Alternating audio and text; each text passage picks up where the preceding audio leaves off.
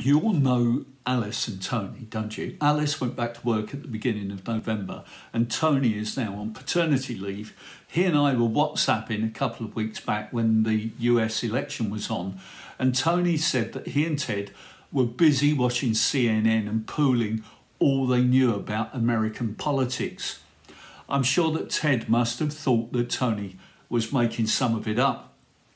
Every now and then, current affairs definitely seems much more weird than ancient history, like the story of Daniel in the Bible. Now, he was exiled to a foreign country, made to take elite training to be a government advisor. As far as we know, he spent his career in Babylon and saw several kings come and go. So it's not surprising that his book is stuffed full of thoughts about politics and the forces behind it. The first king Daniel served started out seriously paranoid and ended up with mental health issues. He was called Nebuchadnezzar. His word was law.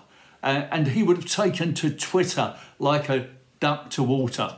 Shadrach, Meshach, Abednego, you're fired.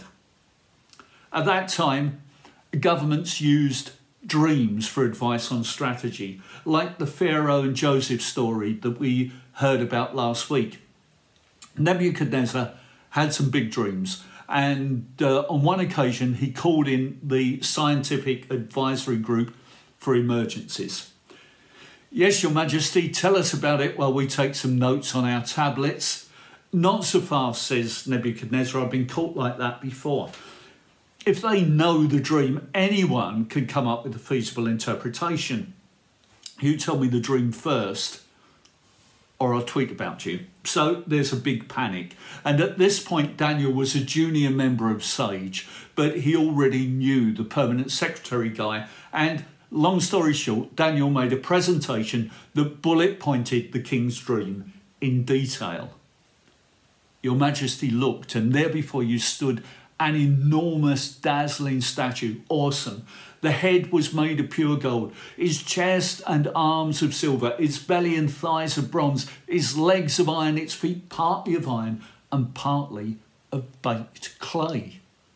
By this time, the king was leaning forward on the edge of his seat. He'd found a new special advisor.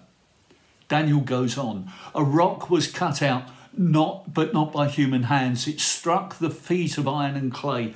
Then the iron, the clay, the bronze, the silver, and the gold were all broken to pieces. The wind swept them away without trace, but the rock became a huge mountain and filled the whole earth.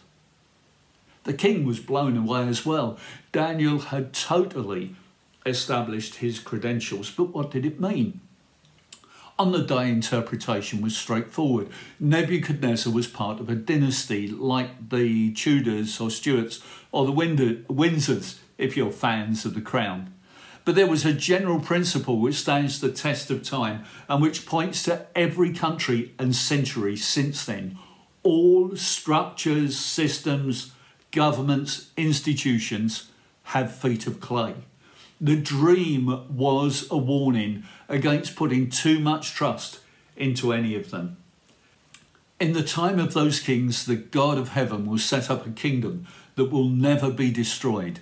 It will crush all those kingdoms, but will itself endure forever. This is the meaning of the vision of the rock cut out of a mountain, but not by human hands. A rock that broke the iron, the bronze, the clay, the silver, and the gold to pieces. Today is the day in the church year when we celebrate Christ the King, the rock whose kingdom grows and will never be destroyed. Next week, we're going to start the Advent journey, and in the dark of a COVID winter, it's easy to limit our hopes to surviving rather than thriving. To sing only about from heaven you came, helpless babe, away in a manger, mild, obedient. And that's not always helpful in an anxious time when we're waiting on the government and the experts and key workers to do their best, while we hope that we'll get the vaccine before too many more of us succumb. I have a lot of sympathy for government at the moment, but it is important not to expect too much from them. From almost the beginning, to very close to the end of the Bible, there's a healthy suspicion, there are low expectations of human institutions. So Paul says, I urge them, first of all, that petitions, prayers, intercessions, and thanksgiving be made for all people, for kings and all those in authority, that we may live peaceful and quiet lives in all godliness and holiness. This is good and pleases God our Saviour, who wants all people to be saved and to come to a knowledge of the truth. Paul's best hope was that governments would not interfere with his religious liberty. Today, comparatively, we get a great deal after centuries of our institutions absorbing Christian values. And we recognise that in our intercession and thanksgiving. But there is going to be a time for the biggest ever celebration, waving flags, filling the streets with excitement, honking horns, going completely mad. That time is when the kingdom of the world has become the kingdom of our Lord and of his Messiah, and he will reign forever and ever.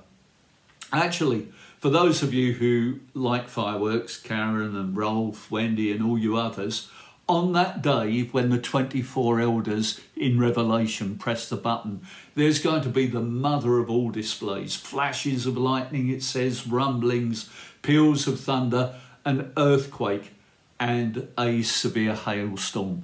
Tickets are on sale now. On this last Sunday in the Christian year, just before Advent, we celebrate Christ the King and remind ourselves that Jesus didn't stay a helpless babe or suffering servant forever. The rock that broke off from the mountain will one day fill the whole earth, a kingdom which is even now growing. Sometimes you can see it, mostly in secret. So, what are our takeaways today? Once we allow ourselves to think that all offers of hope in this season are the same, we become practical atheists. God is pushed to the edge. Hope built on sand is very different from hope built on rock. Be grateful to governments and scientists and to drug companies, to Dolly Parton and Bill Gates for investing in vaccines. Be, be very grateful. But don't accidentally give the impression to yourself or to anybody else that human initiative is a rock on which people can base long lasting hope all sorts of people are doing kindnesses and bringing short term hope. Be appreciative of every kind word spoken into loneliness. But Daniel's message was that the tumbling rock is a challenge to anything less than the kingdom of Christ. Do kindnesses, hold people in the light, but pay attention to the light's intensity and heat and colour. When we say the name of Jesus over our offerings to India, our hampers for Wiltshire, or even over a playlist video that we think would encourage somebody we know, we could be acting on behalf of a whimpering infant who needs a cuddle. Or could, we could be sharing whatever little we've got with the authority of the Lord Jesus Christ, who has a name that is above every name, that at the name of Jesus every knee should bow in heaven and on earth and under the earth. I'm so glad that Jesus humbled himself for 33 crucial years. But that was 33 years out of all of eternity, and I don't want to miss the big story. Our second takeaway, which should have come first really, because without it we don't get anywhere near the first one, is we need for ourselves to get back to basics and check that our hope is on the rock and not on something else, that our anchor will hold. You know the Pentatonix song, Mary Don't You Know? I really like the words and the tune, but it does get a bit passive aggressive about Mary. Mary, don't you know this? Mary, don't you know that? Mary, don't you know the other? Give the woman a break. She found out what was happening as she went along. I've got the whole story, and still half the time I struggle to act as though it's true. Leave Mary alone and give yourself a working over for a moment, see how you like it. What the lyrics? Dayspring, do we know that the baby boy is Lord of all creation? Do we know that that baby boy will one day rule the nations? Do you know that baby boy is heaven's perfect lamb? That the ickle baby Jesus is a great lamb? What the lyrics? The blind will see, the deaf will hear, the dead will live again, the lame will leap, the dumb will speak the praises of the Lamb. It's with the authority of Jesus, that Jesus, that we offer hope worth having. We declare it, and who knows what will happen in somebody's heart as you reach out in whatever ever way you can. As the angel said to Mary, with God, nothing shall be impossible. Well, we need to put Pentatonix and their Christian albums on hold for a week or two, or we be bored of them by the middle of December. But we are going to sing again about Christ the King, our hope in this season and in every season, sunny or dark. In Christ alone, my hope is found. That tumbling rock that was cut off the mountain and reveals the weakness of human institutions and networks really has become the cornerstone our solid ground. No power of hell, no scheme of man can ever pluck me from his hand till he returns or calls me home.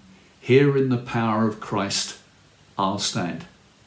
That sounds like a hope worth offering. Abby and Mark.